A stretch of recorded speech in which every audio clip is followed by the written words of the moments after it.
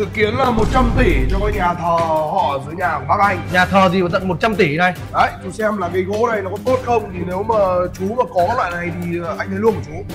Của nhà thờ 100 tỷ của bác. Ờ. Thế có vào phải nhà thờ to lắm anh ạ? Sẽ là to nhất miền bắc. Hoặc là đây là dòng gỗ quý. Thì bây giờ em sẽ kiểm tra luôn cho anh nhá. À, kiểm tra đi. Ok qua đây em kiểm tra cho. Rồi sau cục gỗ này bọc uh, kỹ đi anh? Ôi trời ơi ông ấy ờ, cẩn thận ông ấy được bạn giới thiệu À. cho loại này. Ấy. rồi 100 tỷ cái nhà thờ gỗ thì đúng là nhất miền Bắc là thật anh ạ. Tôi đã bảo rồi làm to nhất miền bắc Rồi. còn em sẽ kiểm tra luôn. Ờ, sơ qua thì cái cục này thì ờ, đây là một cái phôi gỗ gọi là là phôi gỗ hàng thân. Đấy phôi này thì ờ, từ một cái thân cây gỗ và cắt ra như này một mẩu khúc ý là ông anh là muốn xem là để làm loại này đúng không anh? Đúng rồi. Ừ. bên ngoài đây thì em có nhìn thấy là một cái lượt ờ, lớp rác trắng này. Thì cái loại này thì đây là hàng là hàng đẽo rác phải là những cái dòng gỗ quý thì người ta mới đẽo hết phần rác như này. Nhưng mà phần vẫn người ta vẫn còn bám ở đây. Đấy thì ờ, đây sẽ là phần ờ, lõi gỗ này. Nhưng bây giờ em sẽ thử tạc ra nhá kiểm tra xem là loại gì. Ông kiểm tra thoải mái đấy xem mà. Xem là gỗ quý hay không. Bởi vì trăm tỷ thì em nghi là nó cũng phải là dòng gỗ quý. Đấy bây giờ sẽ tạc ra cho anh xem. Ừ, chất gỗ khi tạc ra rất là đanh.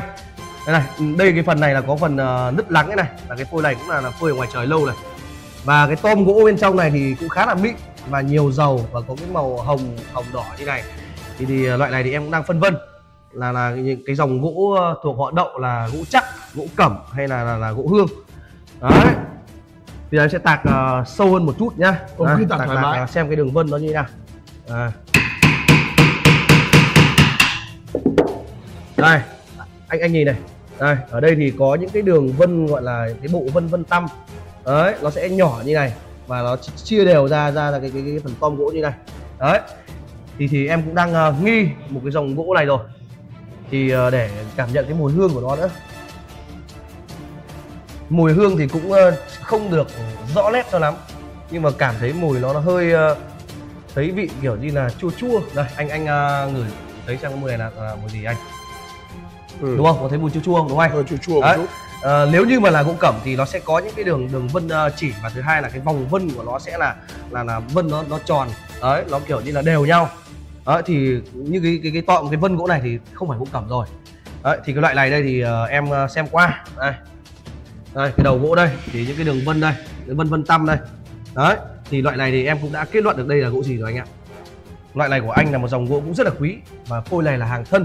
Và loại này là phôi gỗ chắc và đây là phôi gỗ chắc đỏ đen. Cái loại này đi làm nhà thờ thì liệu có nó có, có, có tốn đến trăm tỷ không em? À, cái loại gỗ chắc cái này thì có nó nó có đặc tính. Thứ nhất là chất gỗ đanh cứng. Thứ hai là có độ bền và ổn định rất là cao. Và trong quá trình mà sử dụng và chơi thì nó rất là ít nứt nẻ. Và loại gỗ này thì làm ở nhà thờ thì là ok. Đấy và hiện tại thì thông thường thì loại này thì ờ, hàng thân như này ấy, thì đang được ờ, bán ở ngoài thị trường. Nó khoảng tầm từ 4 cho tới 500 nghìn. Đối với phôi gỗ đường kính khoảng tầm 20 như này. Còn những cái phôi gỗ mà đường kính to hơn ngoài 30 thì hàng ấy rất là hiếm.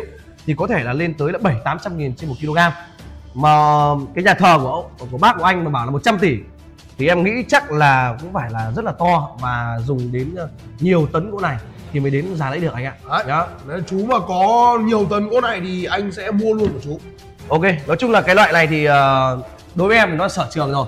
Em biết là dòng gỗ này là gỗ chắc và loại này thì em cũng đang rất hay làm những tác phẩm ờ, về gỗ chắc.